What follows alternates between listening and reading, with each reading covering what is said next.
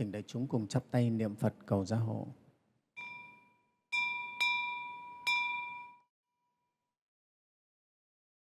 Nam mô Phật Bổn Sư Thích Ca Mâu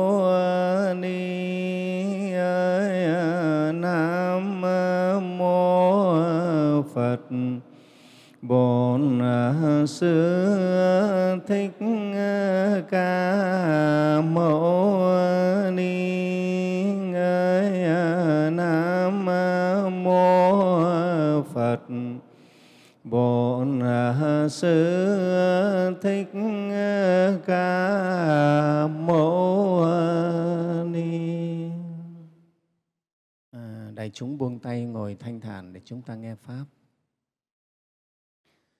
Nam mô Phật Bổn Sư Thích Ca Mâu Ni. Kính thưa toàn thể đại chúng, hôm nay ngày 14 tháng 4 năm nhâm dần, chúng ta tiếp tục chương trình tu học thường kỳ của đại chúng. Trước tiên, cho Thầy gửi lời chúc sức khỏe, tinh tấn và an lành đến toàn thể đại chúng.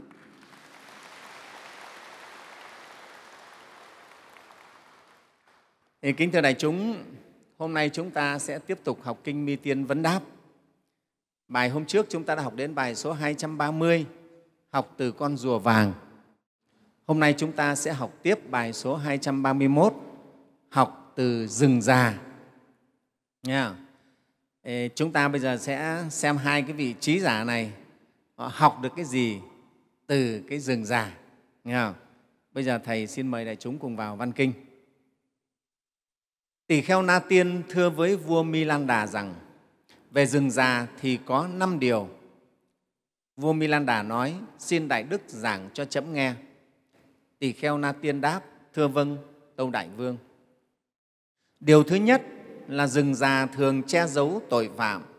Cũng vậy, tâm của bậc hành giả không nên quá khích trước những người hư xấu cần cho họ nương tựa. À, ở đây bài kinh này nói về rừng già, phải không? Thì cái điều thứ nhất, ý, tỷ kheo Na Tiên nói với vua Milan Đà rằng ở nơi rừng già thì cũng thường hay che giấu những cái người phạm tội, những cái người có tội đấy, à, những cái người mà bị eh, truy lùng, truy quét đấy, họ hay lần trốn vào trong rừng già. Thì chúng ta biết rồi, rừng già là cái nơi rất là thâm u, và rậm rạp, đó, đi lại rất khó khăn, ở trong đó thì cũng thường là tối tăm mà thực sự chẳng ai mà chui vào trong rừng già mấy mà ở người thường thì chẳng ai vào đó cả à.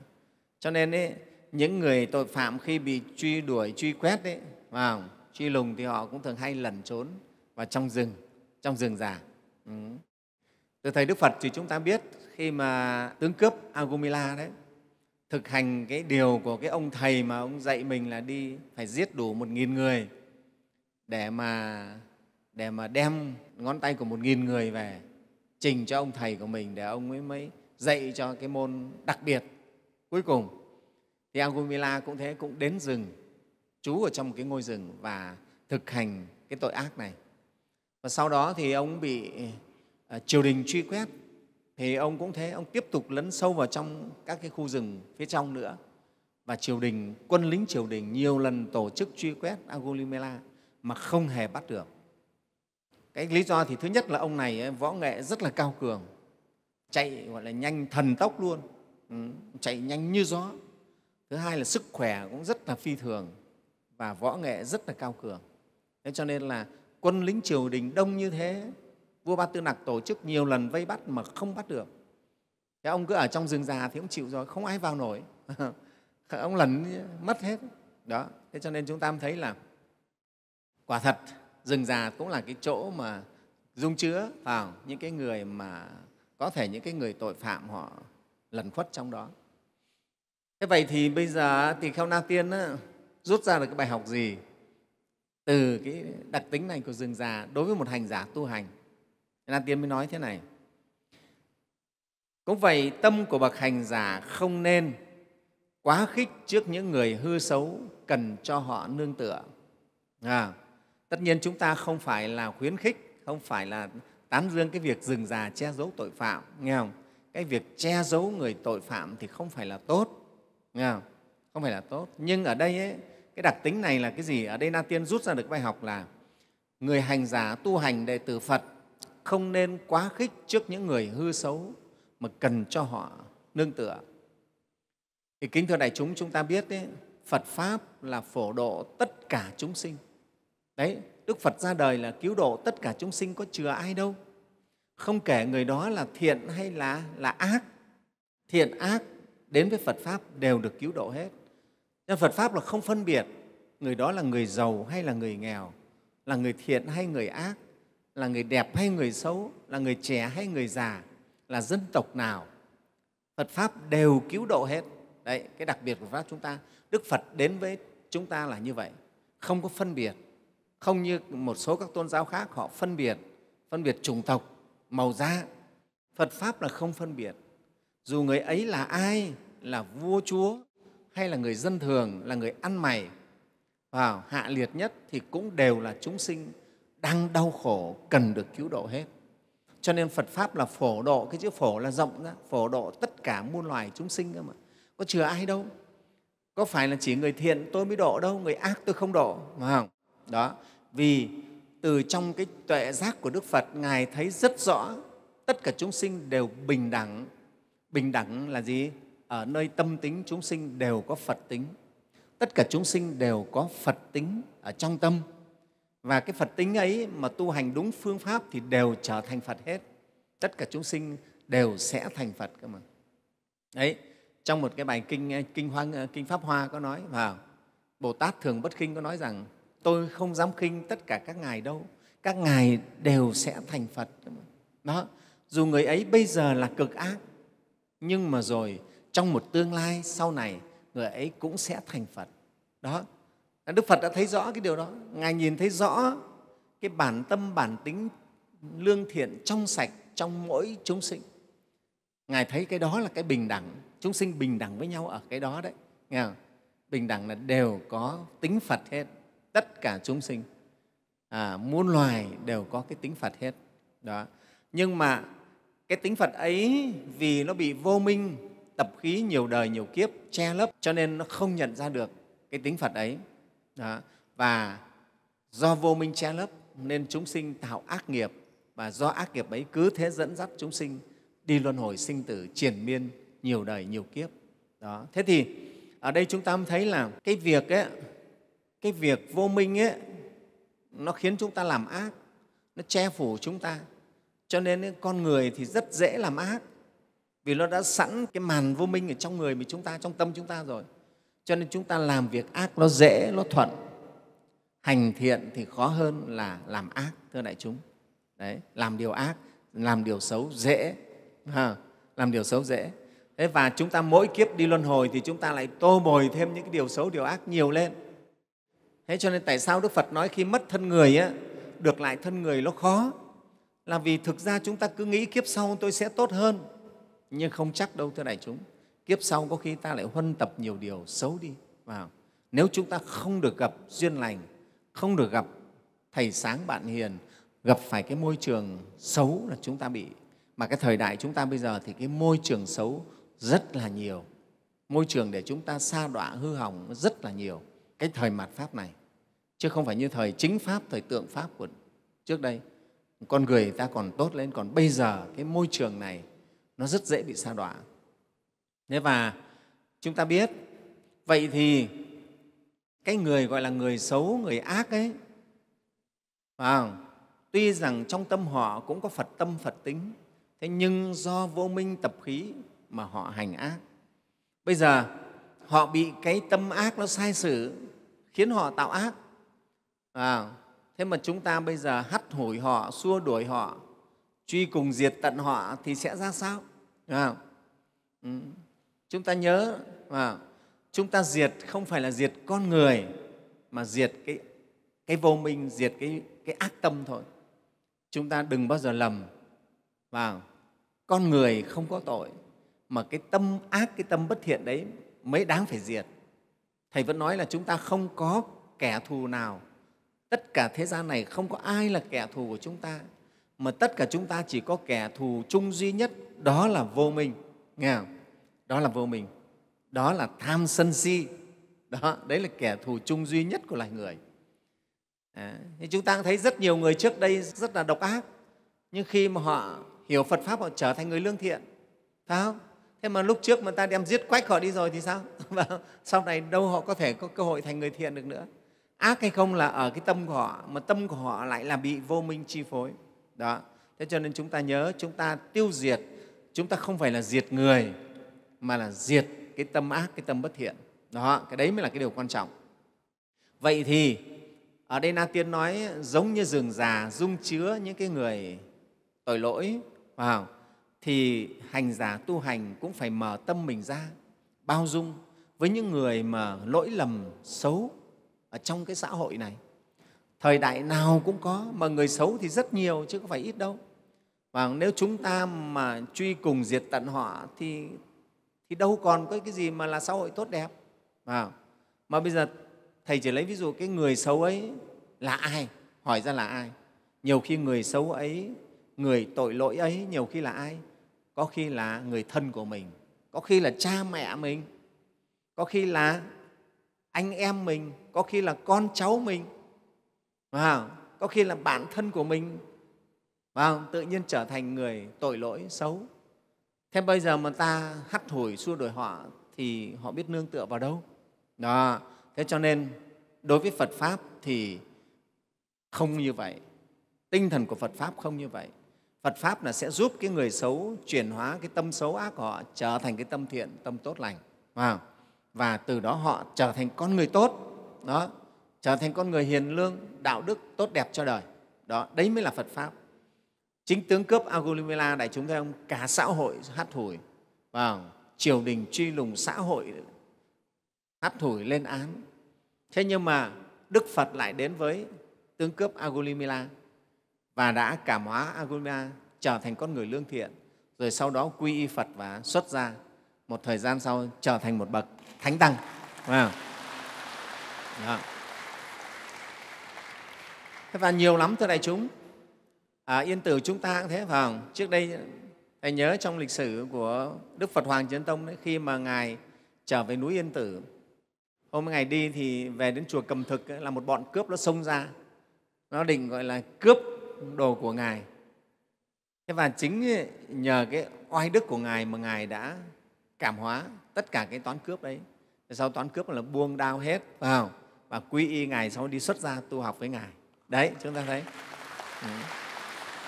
thế cho nên chúng ta thấy đối với người xấu người ác ấy, cái xấu cái ác nó chỉ là cái nhất thời. Nó không phải là cái vĩnh viễn. Nó cũng không phải là bản chất. Nếu nói bản chất thì con người ta bản chất là phật tâm phật tính là tốt đẹp. Nhân chi sơ tính bản thiện. À, bản chất con người ta, gốc gác của người ta là tính phật, tính tốt đẹp. Nhưng còn hiện tại bây giờ người ta xấu, người ta ác, người ta bất thiện, chẳng qua vì vô minh và nhiều kiếp luân hồi sinh tử, cái tập khí nó còn dư những cái thói hư tật xấu. Đó. Thế mà chúng ta hắt hủi thì chúng ta hắt hủi hết. Có thể nói là xã hội chúng ta thì hầu hết là những người còn những tập khí xấu, ác chứ. Và cho nên cái người tu học phật ấy, không phải là cái người mà kịch liệt phải không? Gọi là cái người mà quá khích đối với những cái người xấu người ác. Người phàm ở thế gian có thể thấy người xấu người ác là họ coi như là có khi là muốn đâm muốn chém muốn giết ngay. À, hay là họ rất là kỳ thị những cái người xấu người ác. Rất kỳ thị rất khó chịu quá khích mà có những cái, cái lời nói những cái hành động thể hiện những cái sự rất là là là gay gắt đối với những người xấu người ác thế nhưng người tu chúng ta hành giả chúng ta thì vẫn phải có cái tâm bao dung à, dung chứa họ. Cũng có những cái người rất là ác. Khi họ đến với cửa chùa đến với cửa phật từ bi thì họ lại trở nên thành con người tốt. Họ biết hồi tâm họ biết nghe. Nhưng những con người ấy nhiều khi dùng vũ lực với họ không xong. Mình ác mình mà truy cùng diệt tận họ không xong. Họ lại chống đối. Nhưng mà trước cái cánh cửa từ bi của phật thì họ lại mở lòng họ ra. Và họ hoán đổi cái, cái tâm hồn của họ trở thành một cái tâm hồn lành thiện hơn tốt đẹp hơn đó thì đấy thì đại chúng mới thấy là, là Đức Phật dạy người tu phải như vậy. Trong Kinh Bát Đại Nhân Giác, á, cái điều thứ sáu và khi mà một vị Bồ Tát hành bố thí thì không phân biệt à, kẻ ác, bất tắng ác nhân, tức là không ghét người ác, không ghét bỏ người ác. Người ác ta cũng không ghét bỏ. À, ta ghét cái tâm ác của người ta nhưng không ghét con người ta. Đại chúng hiểu không? Chính chúng ta nhiều khi lúc chưa biết Phật Pháp, chưa tu, ta cũng ác đáo đẻ. Thế mà bây giờ mà ta ác, thế mà bị mọi người hắt hủi hết thì ta sống làm sao? Đó, cho nên xét gì thì xét người lại phải xét lại mình. Chỉ là cái tâm thôi. Đầy những người trước đây rất là xấu xa, đê tiện. À, nhưng sau đó người ta gặp được Phật Pháp, người ta gặp được những người tốt, người ta trở thành người tốt. Đó, thế thì bao nhiêu cái xấu của họ nó đi hết rồi. mà vậy nên chúng ta nhớ cái mà chúng ta cần diệt đó là diệt cái tâm ác, diệt cái vô minh ở trong tâm trí chúng ta, chứ không phải diệt con người, nghe không? không phải diệt con người. Đó. Thế cho nên ở đây Na Tiên nói tâm một vị hành giả tu học Phật phải giống như rừng á, có thể dung chứa được cả những cái người lỗi lầm, những cái người tội lỗi, là chỗ nương tựa cho họ để họ biết hồi tâm quay về. Đại chúng hiểu không nào? Cho nên ấy, cửa chùa là cửa tử bi vào những người như thế họ quay về họ biết hồi tâm. Đó. Thầy cũng đã từng có những cái cái lần được vào trong trong trại giam ấy thưa đại chúng để mà à, giáo hóa cho những người phạm nhân trong đó. Thế và à, các anh à, quản lý trại giam người ta nói là họ cũng rất hoan hỉ khi được các sư thầy vào mà chia sẻ nói chuyện động viên họ để cho họ không bị mặc cảm tội lỗi mà cái con người ta khi mà ở trong trại rồi ra tù, người ta rất dễ mặc cảm là cái người tội lỗi. Thì mình sao giúp cho họ xóa được cái mặc cảm đấy đi? Họ biết nhìn nhận lại cái hành vi của mình không? tự mình nhận thấy lỗi lầm ở mình. Đó mới là điều quan trọng. Chứ còn nhiều người người ta phạm tội nhưng họ không nhận tội. Họ vẫn đổ tội là do cái này, do xã hội, do chế độ thế nọ thế kia. Và họ không tự nhận thức được cái sai lầm của họ. Thế thì mình giúp cho họ nhận ra được những cái điều đó đó là cái điều tốt mà. Đấy thì, thưa đại chúng vậy thì cái tâm của một vị hành giả phải giống như rừng à, phải bao dung có thể dung chứa được. Kể cả những người gọi là lỗi lầm là những người xấu đấy à, thì mình mới có cơ hội để giúp họ chuyển hóa. Và phải như vậy mới được. Chứ cái trong cái xã hội này nếu chúng ta trực triệt với kẻ ác ấy à, hoàn toàn truy cùng đuổi tận diệt tận họ thì thực sự không phải đã là xã hội tốt đâu, thưa đại chúng. Thế cho nên chúng ta có những cái trại cải tạo, phải có, nhà nước phải có những chỗ đấy để tiếp nhận họ rồi cải hóa, giáo hóa họ, chuyển hóa họ. Đấy, thưa đại chúng, nhớ thì tâm của hành giả cũng phải như vậy. Đấy là cái điều thứ nhất mà tỳ kheo na tiên rút ra được từ cái rừng già. Và rừng già nó dung chứa được những người lỗi lầm như thế, thì tâm của một vị tu hành cũng thế, phải mở lòng ra đó là cái đặc tính từ bi của người người đệ tử Phật. Người đệ tử Phật phải có cái tâm từ bi. Nếu không có tâm từ bi thì không phải là người đệ tử Phật nhé đấy là điều thứ nhất. Điều thứ hai rừng già là nơi không có người qua lại. Cũng vậy, bậc hành giả đừng để cho tham luyến, sân hận, si mê qua lại tâm mình. Thì kính thưa đại chúng, quả thật rừng già là nơi không có mấy người qua lại. Vào, ai mà tự nhiên bình thường mà dám đi vào trong rừng già, mà đi một mình ai dám vào? Vào, rất đáng sợ, sợ thú dữ, vào, rắn độc, rồi đủ thứ gọi là bất thường nó có thể xảy ra.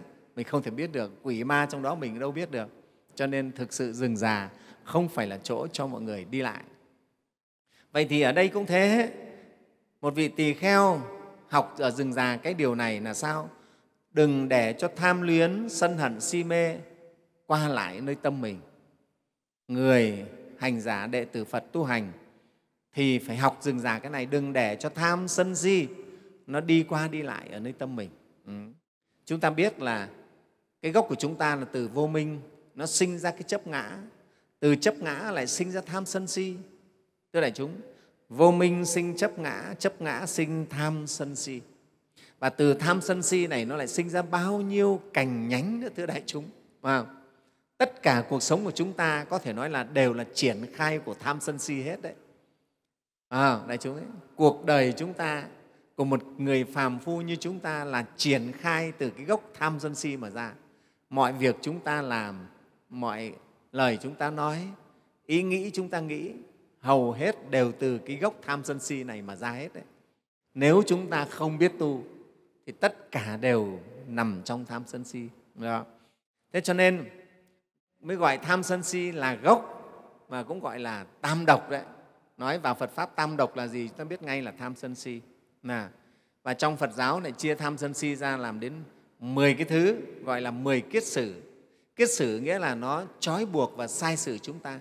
Kiết tức là trói lại xử là sai sử sai khiến thì từ tam độc tham sân si này à, nó biến hóa thành 10 cái kiết sử 10 cái kiết sử này trói buộc và sai khiến chúng ta trong tất cả mọi việc ở cái đời này của một cuộc sống phàm phu. Wow. 10 cái kiết sử đó là thứ nhất là thân kiến. Wow. Thân kiến tức là quan kiến chấp cái thân này là ta, là của ta. Đó.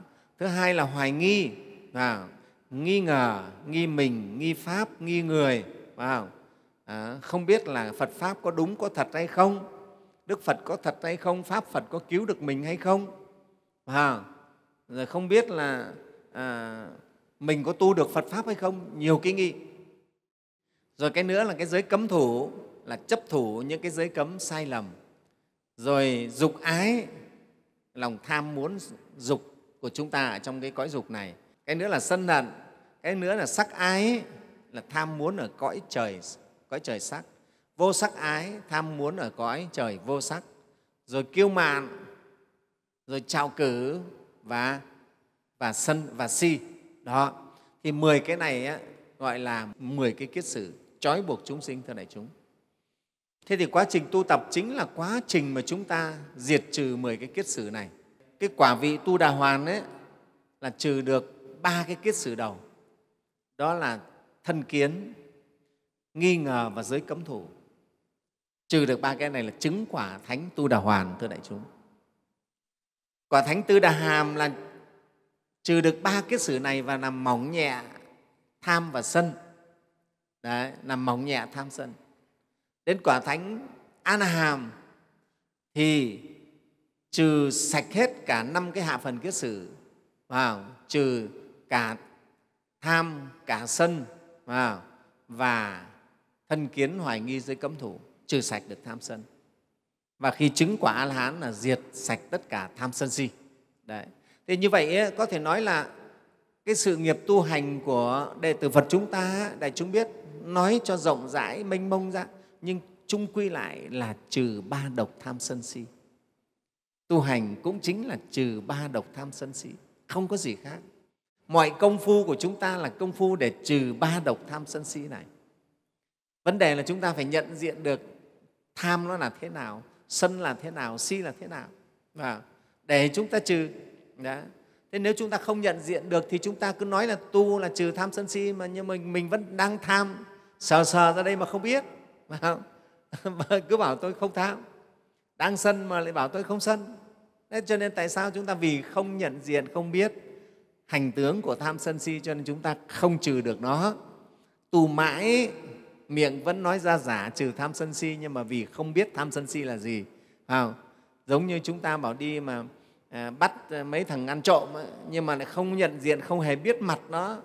Ra sao? Có khi đi ngay trước mặt nó mà nó móc túi rồi mình không biết luôn đấy vào đấy. Thế thì tu cũng thế bảo trừ tham sân si nói rất đơn giản nhưng mà chúng ta phải tìm hiểu xem tham là gì sân là gì si là gì. Hành tướng của nó ra sao? Nhận diện được nó. Nào thì mới được. Đó. Thế thì cái này chúng ta phải quan sát tâm mình thật là kỹ. À, mà trong nhà thiền gọi là minh sát đấy minh sát tức là theo dõi sáng suốt cái tâm của mình. Trong kinh tứ niệm xứ vào đức phật cũng dạy cái việc quan sát về tâm. Để theo dõi nhận diện cái tâm của mình mình không theo dõi không thì không thể nhận diện được nó. Không biết nó là cái gì cả. Chúng ta rất lười theo dõi tâm mình quan sát tâm mình. Mà chúng ta đều bị tâm nó sai nó xử phải không? giống như mình có một người bạn thân ấy, chúng ta ít để ý đến người bạn này mà người bạn ấy bảo gì cái ta làm theo ngay. Và đến lúc mà bảo mình làm bậy mình cũng làm bậy luôn. Mà mình không để ý đến cái anh bạn này. Như thế nào? Đó. Thì trong kinh tứ niệm xứ đức phật dạy thế này. Này các tỳ kheo như thế nào là tỳ kheo sống quán tâm trên tâm? Này các tỳ kheo, ở đây, tỳ kheo với tâm có tham, thì tuệ chi tâm có tham. Với tâm không tham, tuệ chi tâm không tham. Hay với tâm có sân, thì tuệ chi tâm có sân. Hay với tâm không sân, thì tuệ chi tâm không sân. Đó. Với tâm có si, tuệ chi tâm có si. Với tâm không si, tuệ chi tâm không si. Đó với tâm thâu nhiếp, tuệ chi tâm được thâu nhiếp. Với tâm tán loạn, tuệ chi tâm bị tán loạn. Với tâm quảng đại, tuệ chi tâm được quảng đại. Với tâm không quảng đại, tuệ chi tâm không được quảng đại. Vân vân. Như vậy đức phật dạy chúng ta tu tập trừ ba độc tham sân si. Nhưng muốn trừ ba độc tham sân si thì phải nhận rõ hành tướng của tham sân si phải theo dõi tâm mình sát sao như vậy đấy. Ví dụ tâm mình khởi tham mình phải biết là tâm đang có tham. À, khởi sân mình biết tâm đang có sân. Thầy lấy ví dụ mình đang ngồi nghe pháp thế này phải không? Đấy, mà từ một con muỗi nó đốt cái phải không? là mình bực đấy là tâm có sân. À, có sân đấy. Con muỗi nó đốt một cái mình ngứa mình bắt đầu khó chịu. Thì cái khó chịu ấy là gọi là là sân đấy thì đấy là tâm mình đang có sân. Nghe không? Thế hoặc là nghe một ai bên cạnh đấy người ta đang người ta lỡ người ta nói chuyện à, làm cho mình khó chịu đấy cũng là mình đang khởi cái tâm sân đấy thưa đại chúng. Nhá. Cho nên tâm tham tâm sân hay là mình ngồi chỗ này mát có gió quạt mát khởi cái tâm thích thú chỗ này thì cái tâm thích thú đấy là tham đấy thưa đại chúng. Đó ấy nó vi tế đến như vậy cơ mà. Chứ không phải là đơn giản đâu thưa đại chúng chứ không phải là mình phải ngồi lên mâm rồi là con mình ăn, mình dành của nhau mới gọi là tham đâu. Cái tham nó vi tế thì nó đến như vậy đấy. Càng tu thì càng thấy nó càng sâu. Đây chúng ta thấy, và nhận diện được đó, bám sát, gọi là minh sát được nó như vậy, mới có thể loại trừ nó được. Giống như ta chơi với một người bạn rất lâu rồi, quen theo cái sự chỉ bảo của người bạn này rồi, vào, ta quen rồi, bây giờ mới chợt thấy anh ấy dẫn mình nhiều thứ linh tinh quá bây giờ mình bắt đầu mới để ý xem anh ấy làm cái gì. Xem, theo dõi anh làm cái gì và mình biết à anh ấy làm cái việc này bậy rồi. Và ta không theo nữa. Đấy chúng hiểu không nào? Đó, thì đấy đấy chính là cái mà chúng ta phải biết, phải nhận diện ra tâm của mình mới tu được. Đó. Thế thì ở đây cũng thế. Tỳ kheo na tiên nói rằng, rừng già không chứa và rừng già là không có người qua lại. Thì một vị hành giả tu tập cũng thế đừng để cho tham sân si nó qua lại nơi tâm mình. Mà muốn để tham sân si nó không qua lại tâm mình thì mình phải nhận diện nó như thế này rồi mới trừ bỏ nó được. Và chứ còn không nhận diện thì nó cứ đi lượn qua lượn lại trước mặt mình suốt ngày ấy.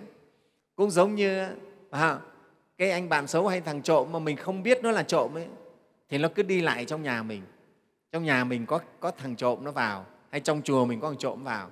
Mình không biết nó thì nó cứ nó cứ giả như cư sĩ bình thường nên mình có biết đâu.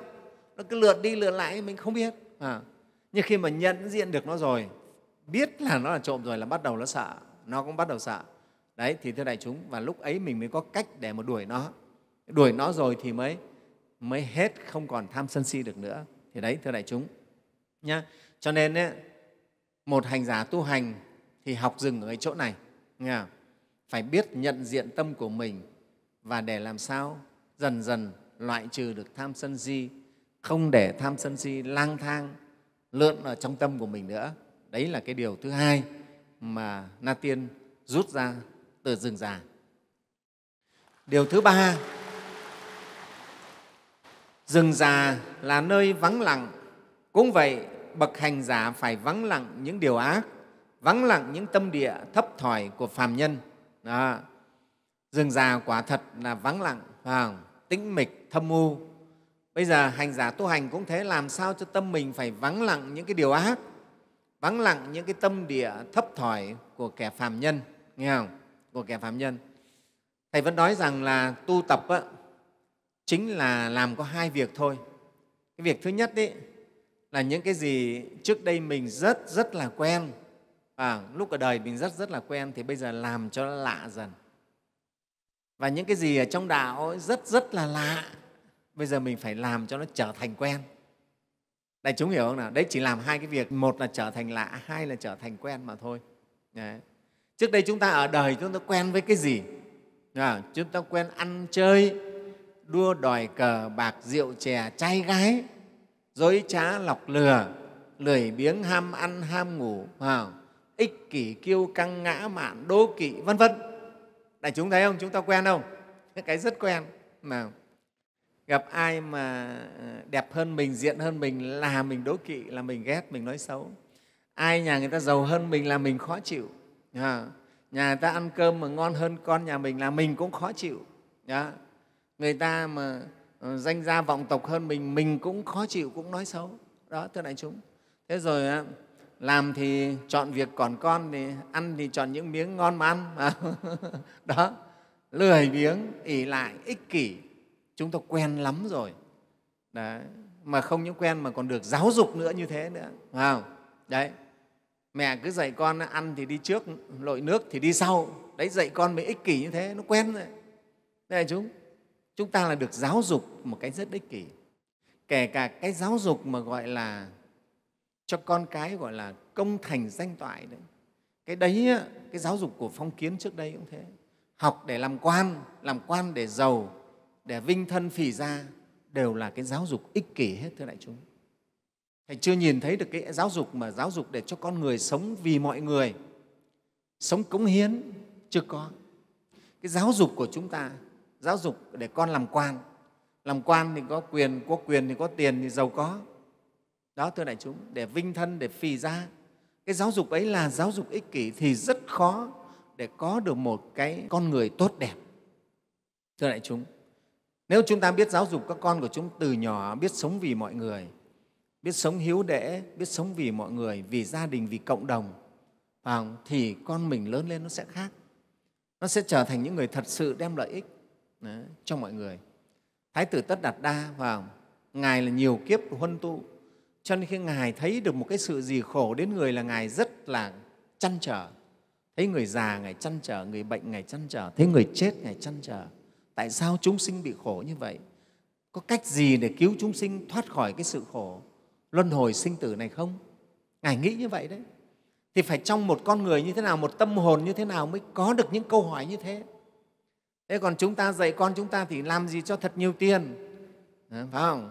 Học hành phải đỗ đạt để ra làm quan, làm chức nọ chức kia. Ờ, ờ, để cho cha mẹ nở mày nở mặt. Đại khái là như vậy. Đó, cái giáo dục chúng ta là cái giáo dục mà nó đi vào cái ích kỷ. Trên đạo phật chúng ta thì dạy con người trừ bỏ cái tính ích kỷ. Làm cái việc gì nghĩ đến cho đại chúng, cho người, lợi ích cho chúng sinh, rộng rãi. Cái đó nó khó đấy, thưa đại chúng. Khó phải không? Thì những cái này chúng ta, ở đời chúng ta quá quen rồi. Quá quen thuộc rồi. Đấy bây giờ là hành giả tu hành chúng ta phải làm sao lạ dần với những cái này. Cái gì mà thấy nó ích kỷ là ta phải thấy thấy nó thấy nó lạ đi vào. Thấy nó rất là khó chịu thấy rất là là ô ế mình nghĩ cái điều gì chỉ ích kỷ cho cá nhân mình mình thấy nó xấu hổ lắm à, xấu hổ lắm. Thế mới được. Tập dần đi. Thưa đại chúng ừ, chúng ta phải tập dần cái, cái tư duy này nghĩ điều gì, làm việc gì, nói cái gì mà chỉ vơ lại cái lợi ích cho cá nhân mình mình phải thấy xấu hổ.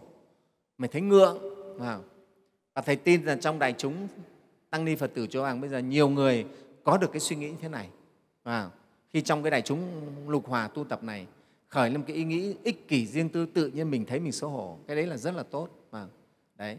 Đấy là cái điều thứ hai.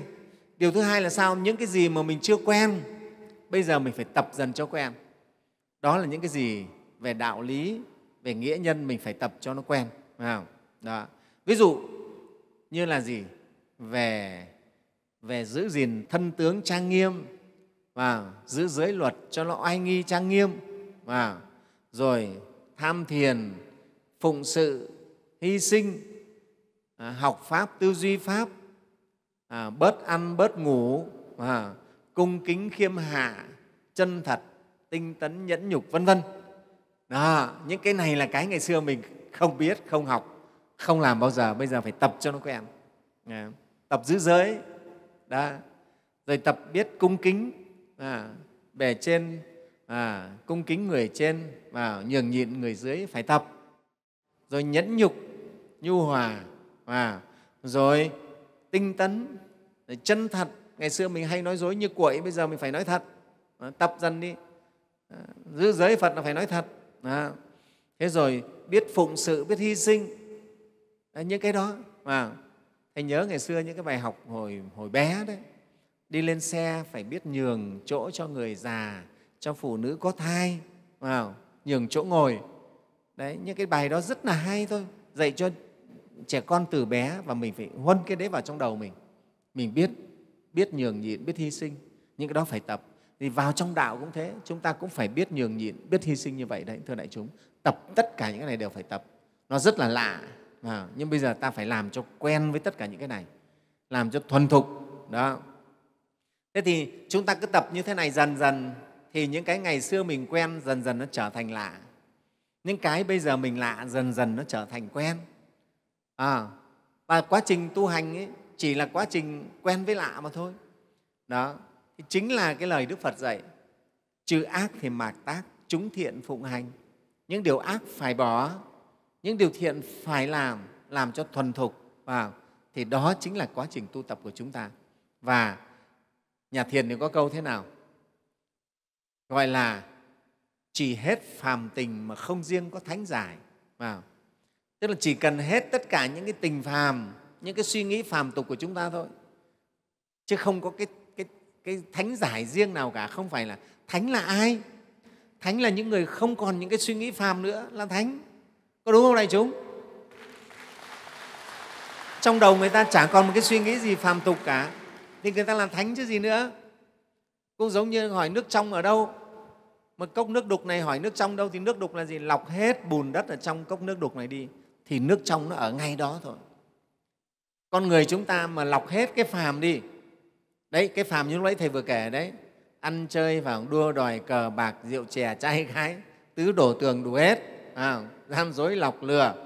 Ganh ghét đố kỵ lười biếng bê tha trụy lạc tất cả những cái tên lọc hết đi. Tự nhiên thì ta thành thánh chứ còn gì nữa. Đó cho nên gọi là không riêng có thánh giải chỉ cần hết phàm tình. Cho nên cái tu mà thầy nói tu hay nó gọi là tu mà theo kiểu đổ rác á vào ta cứ đổ hết những cái rác rưởi trong tâm mình đi nhặt hết rác trong tâm ra thôi. Mà nhìn những cái rác trong tâm mình thì nó dễ. Đây chúng thấy không? Rác rưởi trong tâm mình ở đấy mình tham rồi không được nhé phải bỏ đi. Cho nên cái buổi kiểm tâm của đại chúng á, chưa tăng chưa ni đều có buổi kiểm tâm. Cư sĩ phật tử ở chùa cũng có những buổi kiểm tâm buổi tối à, viết sổ kiểm tâm hoặc là kiểm tâm với nhau là để nhặt rác ra đấy. Ngày hôm nay tâm mình có bao nhiêu cái cái cọng rác bao nhiêu những cái hòn sỏi hòn đất hòn bụi ở trong tâm mình? À, hạt bụi trong tâm mình mình phải nhặt ra. Đó. thì đấy chính là quá trình mà nhặt rác trong tâm. Tu như thế ta cứ chăm chỉ nhặt rác thì tự nhiên tâm mình nó sạch thôi. Tâm sạch thì tự nhiên là thánh chứ chẳng còn là ai nữa à, không phải à thánh ở đâu? Thánh ở ngay trong cái chỗ người phàm chúng ta đây này. Ngay trong cái người phàm chúng ta mà khéo tu thì là thánh nhặt hết cái phàm tâm ra là thánh đấy thưa thưa đại chúng. Đó thì đấy đấy là cái điều mà thứ ba vào à, với rừng già vắng lặng thì vị hành giả tu hành cũng phải vắng đi làm sạch đi tất cả những cái phàm tâm phàm tình của chúng ta. Bằng những cái suy nghĩ mà rất là thấp thỏi rất là đê tiện của người phàm chúng ta phải bỏ. Học phật đã như vậy. Và thưa đại chúng thế có người bảo là thế thì bỏ những cái đấy thì để được cái gì? Thưa đại chúng chúng ta biết rồi. Những cái tâm phàm như thế nó chỉ làm khổ mình thôi làm cho mình thấp kém đi thôi. Tại chúng ta không có ai mà suy nghĩ những điều hạ liệt thấp kém lại trở thành người cao quý được đâu. Tại chúng thấy không? Và cái người có bao giờ được tôn trọng đâu? Chỉ những người có suy nghĩ cao thượng, tốt lành, người đó mới được mọi người tôn trọng, cung kính thôi. Chứ còn tất cả những cái người mà suy nghĩ những cái điều thấp kém, đê tiện, làm sao mà được được tốt đẹp được?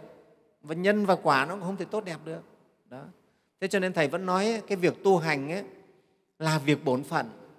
Không phải phật ra đời là bắt mình phải tu hay là thầy bắt mình phải tu. Mà tu hành là việc bổn phận đấy thưa đại chúng. Không tu thì khổ. Đấy các cụ người ta có nói sao? Vào nếu mà khéo tu thì nổi vụng tu thì chìm mà. À, đã.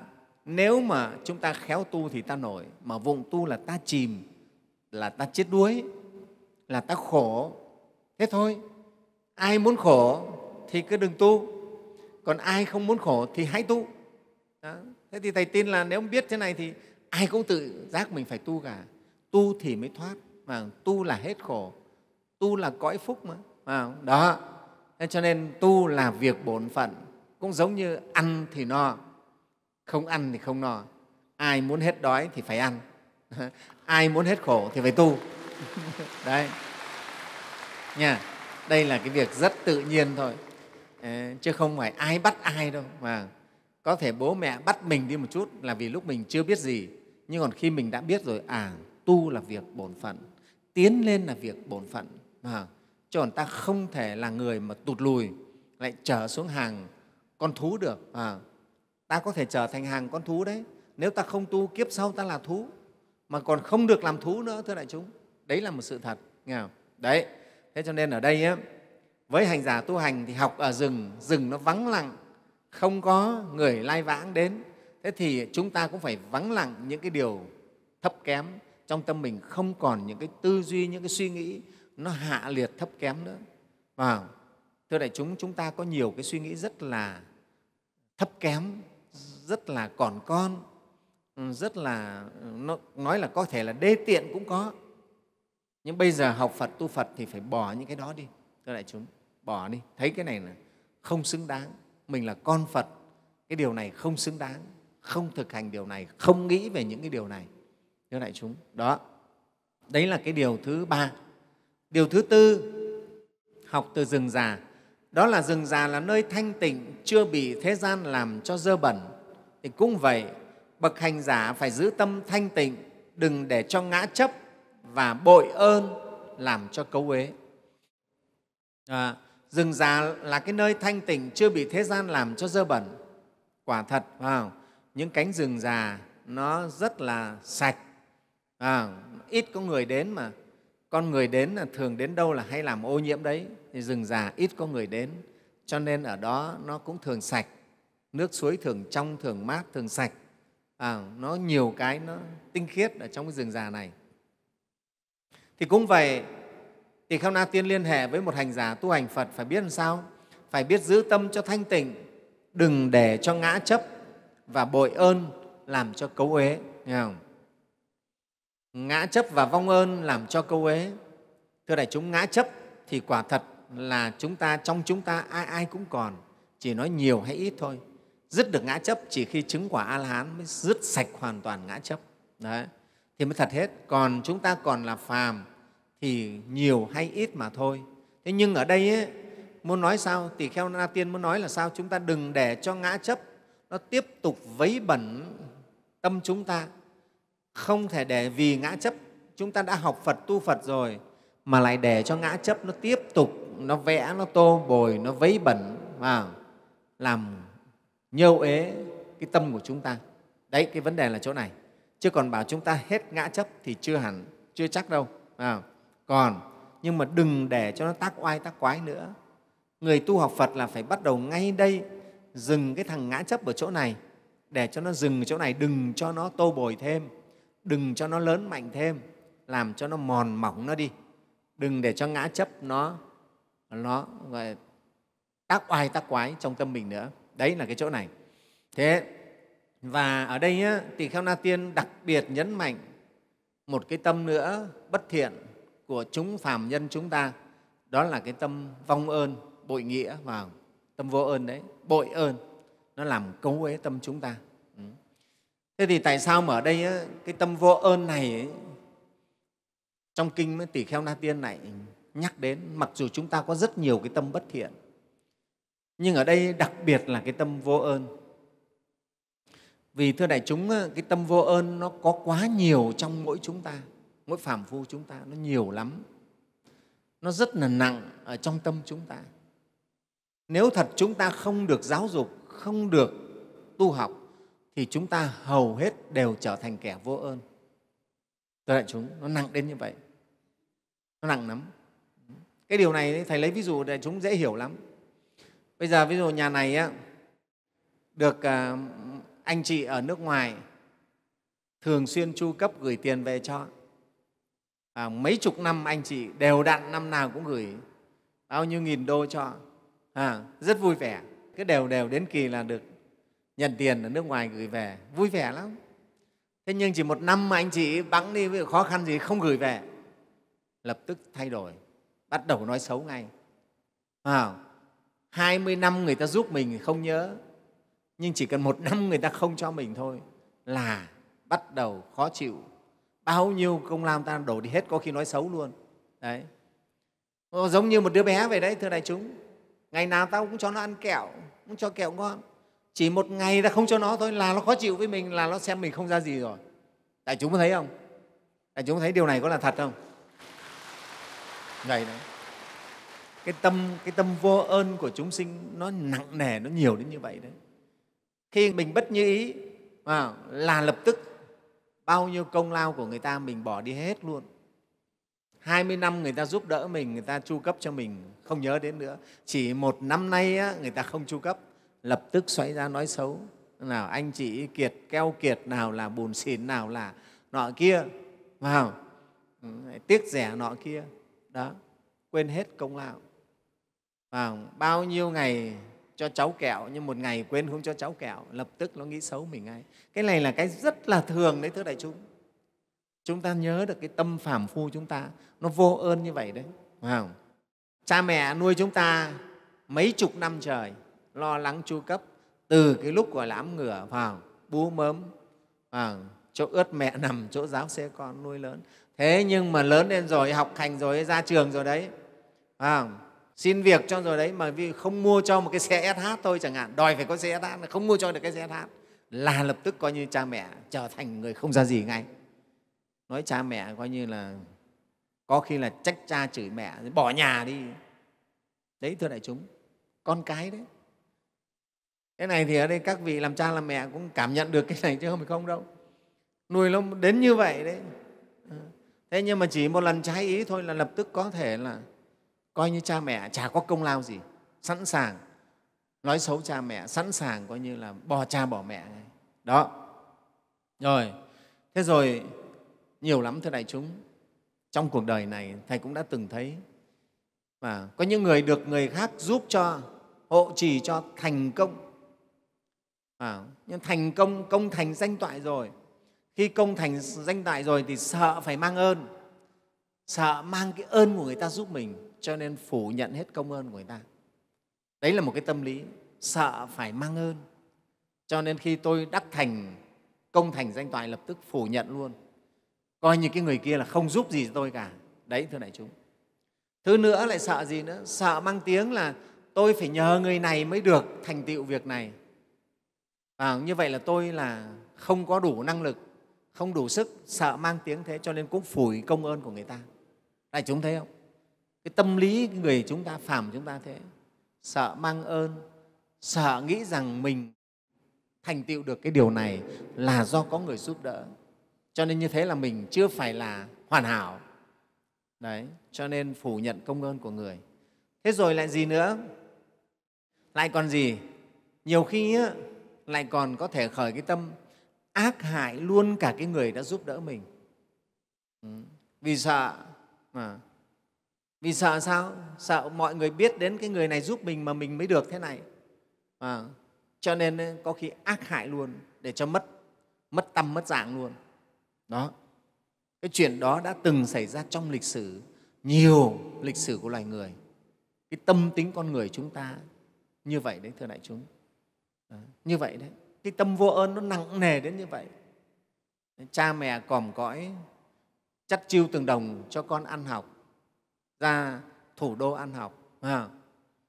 đấy.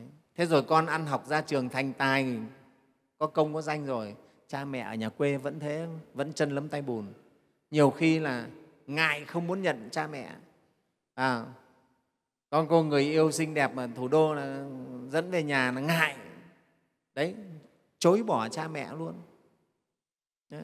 thế đại chúng cái tâm vô ơn chúng ta như vậy đấy thế cho nên tại sao ở đây na tiên lại nhấn mạnh đừng để cho cái tâm bội ơn nó làm cấu huế thế đại chúng à, đừng để tâm bội ơn nó làm cấu huế. tại sao chùa chúng ta tất cả tăng ni phật tử đều phải tu tập ba tâm cung kính vâng lời và biết ơn? Phải nhấn mạnh cái chỗ này. Con người ta có biết ơn có đền ơn người đó mới gọi là người tốt được còn cái người không biết ơn không đền ơn không là người tốt được. Đức phật của chúng ta là tấm gương sáng chói về cái tâm biết ơn. Đại chúng thấy không nào? Ngay khi đức phật vừa thành đạo à, thì ngài tri ân cái cây bồ đề nơi ngài ngồi che nắng che mưa cho ngài trong 49 ngày để ngài an tâm nhập thiền đắc đạo ngài đã đứng ngắm cái cây tri ân cây bồ đề một tuần liền tới đại chúng. Mắt không chớp nhìn cây bồ đề không chớp mắt. Đấy trong sử phật giáo ghi rõ. Rồi ngài nghĩ đến những người thầy trước đó của mình. À, ngài Ala Rakalama và ngài eh, bắt đầu lam phất nghĩ để đến độ cho những người thầy trước đây đã dạy mình. Đó nhưng mà hai cái vị này chết mất rồi thì ngài lại nghĩ đến những người bạn đồng tu với mình đã giúp đỡ mình trong những cái ngày kham khổ hạnh như vậy. Là năm anh em ông kiều trần như và ngài đã đi đến độ năm anh em ông kiều trần như. Và, và biết bao nhiêu những người ngài đã hứa với ai vị vua nào ngài đều đi đến để độ hết. À, rồi sau đó ngài về hoàng cung độ cho vua cha à, rồi độ cho cả hoàng cung. Thì chúng ta mới thấy cái tâm của ngài cái tâm tri ân nó rất là lớn. Phải không? Cái người phải dày, phải nặng cái tâm tri ân như vậy, người ấy mới gọi là người tốt được. Thì chúng ta tự kiểm mà xem. Cho nói cái điều này là để tất cả mỗi chúng ta đều phải soi lại mình. Trong mình cái tâm vô ơn rất nhiều vào ngay trong nhà thôi. Có khi người vợ mình hàng ngày cơm nước phục vụ cho mình như thế, nhưng mà mình cũng xem thường luôn. Coi đấy giống như là nghĩa vụ, là bổn phận ấy, là cô phải chăm sóc, phải cơm nước, giặt rũ cho mình chồng không hề biết ơn. À, người chồng việt nam á, nói được cái lời cảm ơn vợ rất là khó. Thầy biết khó lắm đấy. Cảm ơn vợ cảm ơn em nhé là khó lắm đấy. Đây là các đức Lăng quân ngồi bên tay trái thầy đây này phải có nói được lời không? Cô nấu cho một ờ, nồi cơm dẻo bát canh ngon ngọt. Có biết cảm ơn em hôm nay là đã cho anh một bữa cơm rất là ngon không? Người tây thì người ta dễ cảm ơn không người tây ta được giáo dục từ nhỏ rồi, cái tâm phải biết ơn. Còn người việt mình rất là ít, lại còn ngại. Nói thế nhiều khi lại bảo là khách sáo. Chúng ta được giáo dục cái tâm biết ơn rất là ít, rất là yếu. Thầy vẫn nói cái xã hội này nó sẽ tốt đẹp hơn nhiều nếu ai ai cũng sống trong cái tâm niệm biết ơn. Và thì tội phạm cũng sẽ ít đi con người ta được sống trong cái tâm biết ơn ấy, nó rất là tốt đại chúng thấy không? Ừ. Đó. phật tử đến chùa biết ơn đại chúng biết ơn chư tăng xây dựng công trình này để cho mình có chỗ tu học và, và biết ơn thế mình gắng mình làm tất cả mọi những việc tốt để giữ gìn tam bảo nào chư tăng thì cũng biết ơn các phật tử các phật tử là những người đàn na tiến tí hộ trì cho mình. À, vật thực hàng ngày y áo mình mặc để gắng mình tiến tu trong gia đình vợ chồng cũng biết ơn nhau con cái biết ơn cha mẹ. Và bạn bè biết ơn nhau lãnh đạo biết ơn cấp dưới. Và không có không có nước làm sao mà có sóng. Lãnh đạo được là cái sóng lên cao thì cũng phải nhờ có nước. À, mình làm quan thì cũng phải có dân. Quan biết ơn dân. Và thì như vậy đại chúng thấy. Nó sống trong cái niềm biết ơn như vậy thì xã hội đất nước nó rất là tốt đẹp cho nên cái đạo lý biết ơn và đền ơn này ấy, nó phải được phổ rộng ra. Đấy, đất nước chúng ta thì cũng đang thực hiện những cái điều này vào. Nhưng nghĩa trang liệt sĩ ghi công tổ quốc ghi công đấy là cái đạo lý biết ơn đấy. Chùa chúng ta có đền thờ lưu danh anh hùng liệt sĩ cũng là đạo lý biết ơn đấy vào. Những người người ta đã hy sinh cả tuổi xuân hy sinh cả xương máu cả mạng sống của mình để cho đất nước được độc lập được mà tự do như thế này chúng ta phải biết ơn các anh hùng liệt sĩ phải biết ơn. À, biết ơn những bà mẹ việt nam anh hùng những người đã hy sinh hết tất cả như thế. À, cho nên cái đạo lý biết ơn này cần phải được tô bồi cần phải được phát huy. Chúng ta phải sống trong niệm biết ơn. Nào ngày ngày chúng ta ăn miếng cơm chúng ta cũng phải biết ơn. Cho nên ấy, trong khi mà chư tăng ăn cơm có năm pháp quán thì phải quán cái điều thứ nhất là quán cái thức ăn này ấy, do đâu mà có công lao của người làm cho nó nhiều hay ít? Để mình sinh được cái tâm biết ơn. À hạt gạo này là người nông dân một nắng hai xương. Mảnh vải tấm y này là người nông dân cũng thế, phải nuôi tầm, phải trồng bông, phải dệt. Rất là vất vả mới có. Đấy, bao nhiêu những cái như thế, thì tự nhiên ta sinh ra cái tâm biết ơn. Ta không trở thành người ác được, thưa đại chúng người có tâm biết ơn không trở thành người ác được. Những đứa con vô ơn là những đứa con trở thành người ác. Sẵn sàng mắng chửi cha mẹ, bỏ cha mẹ, thậm chí giết cha mẹ. Toàn là những đứa con bất hiếu vô ơn cả đấy, thưa đại chúng. Nếu biết ơn cha mẹ, chẳng bao giờ như vậy cả. Đó. Thế cho nên tại sao tỳ kheo na tiên đây lại nói rất là là năng ở cái chỗ này? Đừng để cho tâm bội ơn làm cấu ế tâm mình nghe không? đấy. Trong cái câu chuyện kho tàng cổ tích chuyện Việt Nam ấy, cổ tích Việt Nam đấy nổi tiếng là câu chuyện Thạch Xanh và Lý Thông. Đại chúng thấy không? Lý Thông cướp công của Thạch Xanh vô ơn với Thạch Xanh mà lại còn ác hại Thạch Xanh nữa.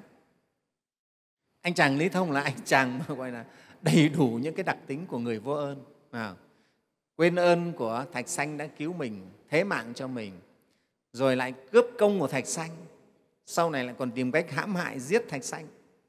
Ấy chúng ta thấy cho nên là dân ta là ghét anh chàng Lý Thông lắm. Đấy, vì anh này là đầy đủ cái đặc tính của một người vô ơn. Và chúng ta mới thấy phải làm sao chúng ta phải hàng ngày phải soi xét lại cái tâm mình đừng để cái tâm vô ơn nó nảy mầm nó mọc rễ trong tâm mình. Nghe không? Phải tẩy nó đi hàng ngày đấy. Phải khởi niệm tri ân hàng ngày. À, thường phải khởi niệm tri ân chúng ta là đệ tử phật thì tri ân đức phật. À, tri ân tam bảo. À, đã cho mình được tất cả những cái như thế này. Chúng ta được thân người á, có thể là từ một kiếp nào đó ta được nghe một câu phật pháp thôi. Mà rồi sau kiếp này ta được làm người đấy thưa đại chúng. Không phải đơn giản có thể có những duyên như vậy đấy. Chứ còn chúng ta mà gọi là hết nghiệp của súc sinh ấy, ngã quỷ mà lên làm người thì chưa chắc đã được như thế này đâu.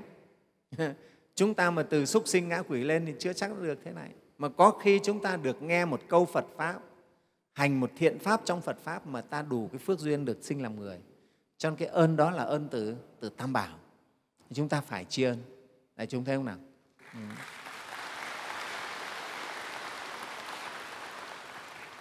Đấy. Cho nên ấy, là người đệ tử Phật thì không để cho những cái tâm niệm bất thiện này nó vấy bẩn trong tâm mình, nghe không? Đặc biệt nhất là cái tâm biết ơn. Chúng ta phải nuôi lớn cái tâm biết ơn ở trong tâm mình, thành một người đệ tử Phật, sống biết ơn và biết đền ơn. Ừ. Điều thứ năm, học từ rừng già rừng già là nơi cất chứa những hương liệu quý báu cũng vậy, bậc hành giả ẩn chứa những hương liệu quý báu của giới định và tuệ rừng già là cái nơi có rất nhiều những cái thứ quý báu mà có nhiều gỗ quý ở trong đó có nhiều nấm quý ở trong đó có nhiều sâm quý ở trong đó và nhiều hương liệu quý báu ở trong đó. Cái đấy là cái sự thật. Thường đi vào rừng già tìm kiếm được những cái thứ đó. Thì ở đây á, tỳ kheo na tiên liên hệ với một vị hành giả tu hành. Trong đó là tăng ni chúng ta và phật tử chúng ta đấy. Chúng ta phải làm sao? Chúng ta hãy phải tích chứa được những cái hương liệu quý báu của giới định tuệ. Vào giới định tuệ là là ba cái môn tu học căn bản của phật pháp và giới định tuệ đối trị được tham sân si nghe không? và giới định tuệ chính là những cái thứ hương báu đấy thưa đại chúng cho nên trong cái, cái lễ dân hương á, chúng ta cũng có thể đọc bài nguyện hương là gì? Giới hương, định hương, giữ tuệ hương, giải thoát, giải thoát, chi kiến hương mà. Quang minh vân đài, biến pháp giới, phổ cúng thập phương, tam bảo tiền. Tức là chúng ta đem giới hương, định hương và tuệ hương của chúng ta cúng dường lên tam bảo. Và đấy mới là cái cúng dường đúng nhất đấy. Mười phương chư Phật, ấy, các vị Bồ Tát Thánh Hiền, ấy, các ngài người là người cái hương đó người cái hương giới hương định hương tuệ mà chúng ta dâng cúng chứ không phải các ngài người cái hương khói này đâu không phải người hương khói đâu chúng ta thì cứ cứ lầm cứ nghĩ là phải người cái hương khói này thế cho nên là nhiều khi là mua hương ấy thì phải mua que hương nó thật xoắn, phải không? Nghĩ là phật còn ngắm, cái que hương nó đẹp như thế thì phật mới vui. Đức phật không phải là cần những cái thứ hương như thế, mà đức phật cần là chúng ta, cần là những người hành giả đệ tử phật là hương của giới đức, hương của định và hương của trí tuệ. Ba cái này vào còn giải thoát giải thoát chi kiến hương là tính sau. Nhưng đầu tiên là ba cái hương này đã, là quan trọng nhất đấy. Các ngài cần cái thứ hương này. Nha. chúng ta đừng lầm với cái khói hương của cái hương trần này. Đấy, có cái câu chuyện vui đấy. Một cái sư cô này à, gọi là câu chuyện ông phật mũi đen thầy đã kể phật tử nghe rồi đấy mà. Sư cô này cô, cô, cô nghĩ là phải hàng ngày đốt hương cho phật. Cô có một pho tượng phật rất là quý và pho tượng phật bằng đồng rất là quý bé bé thôi. Đi đâu cô cũng mang theo. Và cô ta luôn luôn đốt hương để cho pho tượng phật cúng pho tượng phật của cô ấy. À, mà cô nghĩ như thế là được phước báu. Thế và cô đốt hương là cô cứ đẻ hương vào sát mũi phật ấy để cho phật ngửi hương. Thế có một lần á, cô đi đến một ngôi chùa khác có việc phải đến ngôi chùa khác thì cô cũng phải đè cái pho tượng phật của cô lên trên ban thờ của cái chùa đó. Thế nhưng chùa đó thì pho tượng phật lại quá to luôn nghe không? Thế thì cô bây giờ cô mới đẻ pho tượng phật của cô bên cạnh cái cụ phật ở chùa này to quá thì cô bảo bây giờ mình mà đốt hương thì cái cụ phật bên này cụ ngửi hết. Cho nên cụ phật của mình ấy không ngửi được bao nhiêu. Thế là cô mới cuốn một cái tờ giấy, cô mới đút vào mũi phật của cô ấy. Và cô đốt hương để cho riêng khói chỉ bay vào mũi phật của cô thôi. Đại chúng thế mà cô đốt cái trầm hương lên để một đêm suốt đêm mà nghĩ rằng là chỉ phật của cô mới được người hương thôi. Còn cái ông phật ở cái chùa này là không được người hương đến sáng hôm sau cô đứng dậy thì tất cả mũi của ông phật của cô là đen hết. Đại chúng gọi là câu chuyện ông phật mũi đen. Câu chuyện là câu chuyện vui. Và thầy cũng nói về cái chuyện đốt hương cúng phật. À, thì chúng ta hiểu thực ra phật có ngửi cái hương đấy đâu. Nghe không? cuối cùng ngửi như thế thì phật cũng bị đen mũi chứ có hay ho gì? Mà phật là cần cái hương của chúng ta đây này cho nên tăng ni phật tử chúng ta phải làm sao mà chúng ta đốt được cái hương của giới? Đốt hương giới bằng cách chúng ta thực hiện nghiêm trì giới luật cung kính giới luật giữ gìn giới luật. Được tinh nghiêm đấy là chúng ta đang đốt hương giới đấy. Rồi hương của định chúng ta phải thực tập thiền định để tâm được an định. À, được vào những cái tầng định cao thì đấy là hương của định và hương của tuệ tức là chúng ta phải sống với tránh chi kiến tránh tư duy có trí tuệ. À, thì đấy là hương của tuệ. Ba cái này đốt lên thì đức phật phật nào cũng hoan hỉ đấy phật ngửi cái hương đó đó. Cái hương mà không có mùi ấy, à, cái hương này mới là cái hương đặc biệt. Đó. Thế thì đấy trong cái việc tu tập của chúng ta rừng già ẩn chứa rất nhiều những hương liệu quý báu người tu chúng ta, hành giả, đệ tử vật chúng ta cũng phải làm sao mà huân tập nơi mình, thân tâm mình, được những cái hương quý báu đó là hương của giới định tuệ. Tăng ni phật tử đều phải huân cả. Phật tử có giới của phật tử, chư tăng có giới của chư tăng. Người phật tử huân giới hương bằng năm cái giới đức của người tại gia. Thực tập thiền định chính niệm, vào, giữ tâm chính niệm thực tập trí tuệ tư duy học pháp để có trí tuệ. Đó và chư tăng cũng thế nào phải tu tập. Thì ba cái này mới là cái quý ba cái này mới là cái mà mà dâng lên cúng dường đức phật. À, và thì kính thưa đại chúng đó đấy là năm cái điều mà tỳ kheo na tiên rút ra được học từ rừng già. À, rừng già cho chúng ta năm cái điều học như vậy rất là lợi ích cho hành giả tu hành. Và rất là căn bản đấy. Và tỳ kheo na tiên nói sao? Năm chi của rừng chính là năm chi của bậc thánh nhân. Những người hằng an lạc thỏa thích trong rừng già, tâu đại vương. Năm cái điều vừa rồi, rút ra từ rừng già cũng chính là năm điều mà của một bậc thánh nhân đấy, thưa đại chúng. Nếu chúng ta thực hành được năm cái điều này, thì chúng ta là một bậc thánh nhân rồi đấy. Ở đây nhất là đối với tăng chúng, tăng ni tu tập. Chúng ta phải ứng dụng rất tích cực những cái điều này. Từ việc làm gì? Tâm phải từ bi bao dung. Với tất cả, dù kẻ đó là người xấu, người ác, ta vẫn bao dung. Ta không có cái kỳ thị, ta phải dung chứa được họ, chuyển hóa họ. Rồi tâm chúng ta phải làm sao trừ khử được tam độc, tham sân si? Tâm chúng ta phải tránh xa những cái suy nghĩ hạ liệt thấp kém của thế tục. Và tâm chúng ta phải phải biết đầy đủ cái tâm tri ân. À, đầy đủ cái tâm tri ân. Tâm chúng ta phải huân ướp được được giới định tuệ. Đấy đại chúng thấy những điều rất căn bản của sự tu tập. Rất là căn bản đấy. Cái rừng già cho chúng ta được những điều đó. Đại chúng chư tăng ni của chùa chúng ta thì đang ở trong rừng. Cái rừng của mình chưa phải là rừng già à, nhưng mà nó cũng là cái tính chất của rừng già à, chúng ta làm sao chúng ta rút ra được những bài học này để ứng dụng để chúng ta tu tập để được lợi ích? Thế và người phật tử cũng thế. Qua bài học rừng già này chúng ta cũng rút ra được những cái bài học thiết thực cho mình à, để tu tập để chúng ta sống ở trong đời này này. À, chúng ta lợi ích cho thân tâm mình và lợi ích cho cho đời. Cái điều đó.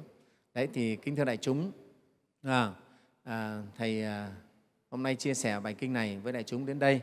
Và mong đại chúng hiểu được ý nghĩa của kinh và chúng ta cùng tinh tấn thực hành lời kinh dạy nhé, để được lợi ích. Nam mô hoan hỷ tạng bồ tát ma ha tát. Thầy mời đại chúng đồng đứng dậy, chúng ta làm lễ hồi hướng.